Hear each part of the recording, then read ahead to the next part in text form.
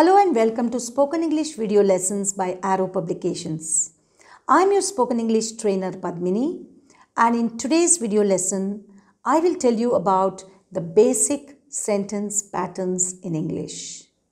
Well, to begin with, I will tell you what a sentence pattern actually means. A sentence pattern refers to the way a sentence is arranged grammatically. In other words, it refers to the word order, the way words are put together to mean something. And when you learn sentence patterns, you will be able to create a variety of sentences. And you will also be able to understand and recognize the different sentence patterns when you read something. And reading becomes very easy because you understand things properly and easily too. And the next thing is learning these sentence patterns helps you gain fluency in the language. So it's always a good idea to learn all about these basic sentence patterns. Let's get started. The first type of sentence is the simplest of all. It is just one word long. Believe it or not, one word long and it can make complete sense. It is a sentence which consists of only one verb. So let's look at some examples of sentences that are just one word long. Come, go, sit, stand, sing, start, wait, eat, read, pray, clap, jump.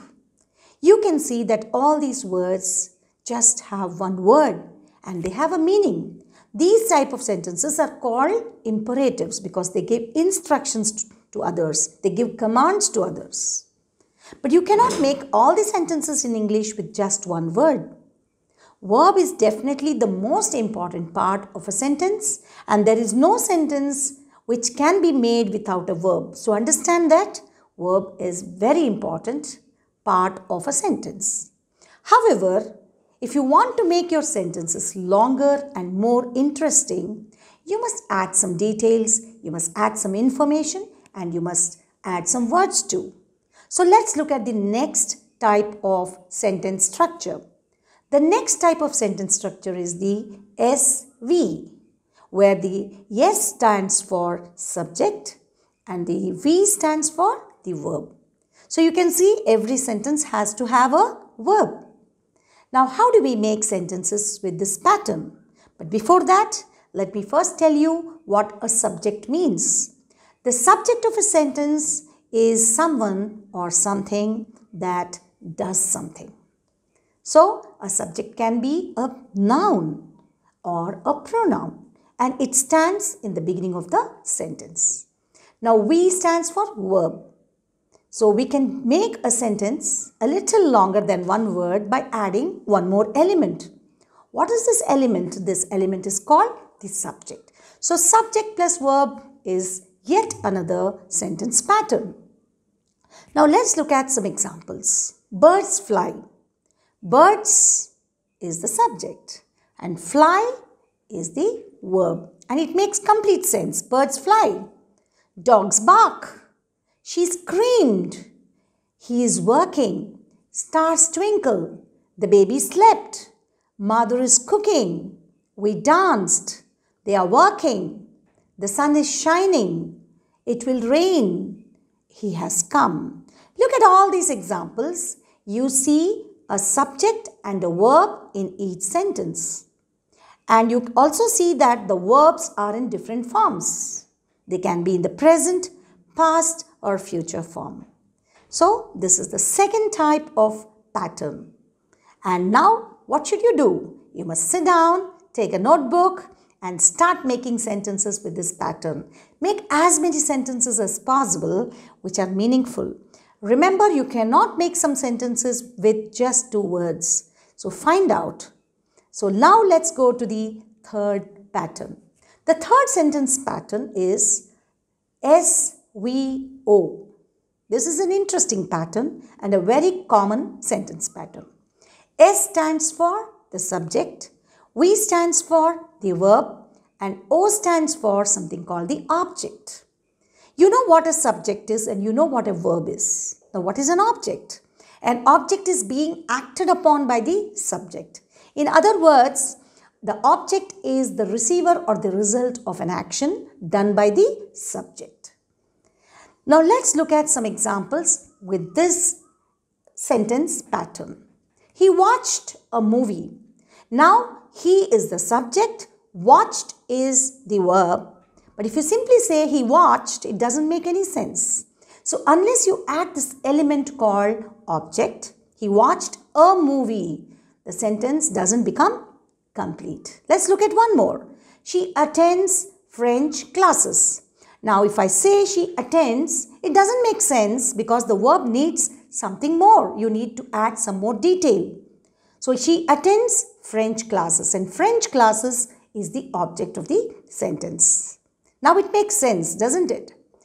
Hence, lay eggs. And if I just say hence lay, you don't understand what it means. When you say hence lay eggs, you understand what this exactly means. So X is the object that is being added to hence. Let's look at other examples as well. Cows eat grass. We are learning English. He is reading a book. Mother will make sweets. They have won the match. She washed the clothes. He booked the tickets. Now in all these sentences you see that after the verb there is an object. And without the object, you really cannot make a complete sentence. So there are some verbs that need an object, but there are some verbs that don't need the object.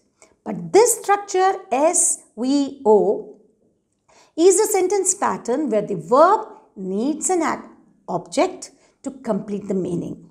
So you have to see the difference between the two structures. You must understand that some verbs can be complete by themselves but some verbs cannot be complete by themselves because they need an object. So we have now done the SVO sentence pattern. Now it's time for you to pick up a notebook and again write down sentences on this pattern. Now the next sentence pattern we are going to learn about is the SVADJ which means S stands for subject, V stands for verb and ADJ stands for the adjective. I am sure you all know what an adjective means. An adjective is that which describes the subject. It tells us more about the subject. So, S stands for the subject, V for the verb and ADJ stands for the adjective. Let's look at some examples. Roses are beautiful. So, how are the roses? Beautiful. Here, beautiful is the adjective and are is the verb. Roses is, of course, the subject. The next sentence, the weather is hot. The weather is the subject, is is the verb and hot describes the weather, so it is the adjective. Now let's look at some more sentences which have got adjectives. The students are regular. The mangoes are sweet. Earth is round. He's young. The story is interesting. This perfume smells nice. This dish tastes good. He looks tired. In all these sentences, you can see that the verb is followed by the adjective. Now, time to take a notebook and make sentences on this sentence pattern. S, V plus adjective. Now, let's go to the next sentence pattern. The next sentence pattern is SVADV. What does ADV stand for? It stands for the adverb. So, the pattern is subject, verb, adverb. Now what is? What is an adverb? An adverb is a word that adds to the verb. So it tells us more about the verb. Now let's look at some examples. He runs fast. If I say he runs, we don't know much about how he runs, where he runs, and so on. So when you add this adverb fast, it tells us how he runs, the manner of his action. The manner of his action is an adjective. So adverb here fast tells us how he runs. The old man walks slowly. The old man is the subject, walks is the verb. And how does he walk? Slowly. Slowly is the adverb. She sings well. She sings. But how does she sing? She sings well. So well tells us about the verb sings. He went upstairs. Where did he go? He went upstairs. So upstairs is the adverb of place. It tells us where the person went. She writes neatly. How does she write? She writes neatly. So neatly is the adverb that is added to the verb. He woke up early. When did he wake up? He woke up early. Raghu sleeps late. When does Raghu sleep? He sleeps late. So you're adding these adverbs to talk about how, when and where or even how frequently. Mohan has gone abroad. So where has he gone? He's gone abroad. Abroad is an adverb of place. He works hard. How does he work? He works hard. She speaks politely. How does she speak? She speaks politely. So in all these sentences, you see the sentence pattern S-V-A-D-V, which stands for the adverb. Now let's look at the last pattern in today's lesson. The pattern is S-V-N. And what is S? Yes, it is the subject and V is the verb and noun stands for the noun. N stands for the noun. So let's look at some examples of this pattern. We are students. My father is a doctor. My mother is a teacher. They are liars. Manoj is a musician. It's a butterfly. My friend is a pilot. She's a nurse. It's a flower. You're a boy.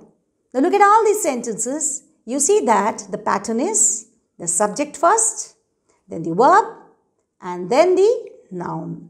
SVN is what the sentence pattern is called. So I hope you have understood all about the sentence patterns. The verb with the in the sentence which can exist all alone or in combination with the subject and other words. So verb is the most, uh, I would say the most common or maybe the simplest of all sentences where we use it to make imperative sentences, just one word long. The second, S plus V, subject plus verb. And the next one is subject plus verb plus object. And the next one is subject plus verb plus adjective. And subject plus verb plus adverb. And the last one we learnt about is the subject plus verb plus noun pattern. Now I'm going to do a small practice exercise with all of you. I'm sure you will participate and you will try to think about each of these sentences. Identify the sentence pattern. I like sweets. Now look at the sentence. Analyze the sentence. I, I is the subject. Like is the verb. Sweets is the object. I like sweets. So this is S-V-O. Dogs bark. There are just two words. So it is the SV pattern. She sings sweetly. Sweetly is sweetly tells us how she sings. So it's the SVADV or adverb. The grapes are sour. How do the grapes taste? They taste sour. So sour is an adjective. This sentence pattern is subject plus verb plus adjective. The boys play cricket. Boys is the subject, play is the verb and cricket is the object. They are farmers. They is the subject. So S, are is the verb, farmers is the noun. So S, V, N. He speaks loudly. So here he is the subject, speaks is the verb and loudly is the adverb. Next one, he drives carefully. He is the subject, drives is the verb, carefully is the adverb because it tells us how he drives. Jump. Jump is just one word long. It's a complete sentence. And here we just have the verb. The last one is Renu is pretty. Pretty is an adjective because it tells us about the subject Renu. So it is subject plus verb plus adjective. I'm sure you've understood about some of the basic sentence patterns that you can make and I'm sure you will try and make many more sentences. You'll create many more sentences of these patterns and you will practice more so that you can improve your fluency in English. I'll come back with many more interesting videos. So do like, share and subscribe to our videos so that you can watch more. And I'm, thank you for watching these videos. See you soon. Goodbye.